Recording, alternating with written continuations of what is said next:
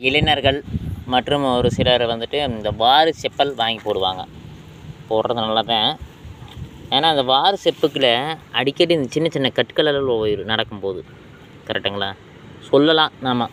தட்டு காட்டுக்குள்ளேயும் கூட கரெக்டாக நடந்துறங்க அந்த காலில் அந்த தட்டு ஏறுறது கிடையாது. ஏன்னா ரோட்டில் நடக்கும்போது கல் வந்து காலுக்குள்ளே போயிட்டே இருக்குது. சின்ன சின்ன கல் இந்த மாதிரி கல் அடிக்கடி உள்ளே போயிடு அப்படின்னு சொல்லுவாங்க.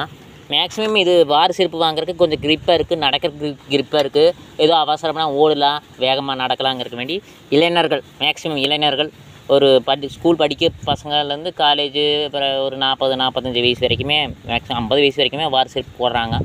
அதுக்கு என்ன செய்யலான்னா நீங்கள் வந்துட்டு தரையோடு சேர்ந்து காலை அப்படி சேர்த்து சேர்த்து நடக்கிறனால தான் அந்த காலுக்குள்ளே கல் பூந்துருது.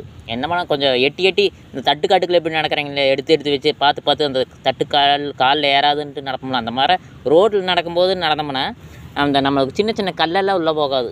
ஒரு சிலர் அப்படியே அவசரத்தில் பஸ் ஏறிடுறது அப்படியே கையில் காலில் குத்தி நைட்டுக்கு காயமாகி கண்ணுக்கே தெரியாமல் சின்ன சின்ன கல்லெல்லாம் பூந்துடும் இப்போ சாக்ஸு போட்ட பிரச்சனை இல்லை செருப்பு போடுறதுனால அதை கொஞ்சம் பார்த்து காலை வந்து எட்டி எட்டி வச்சு நடந்து போங்க. சொன்ன தகவல் பிடிச்சிருந்தா லைக் பண்ணுங்க நன்றி.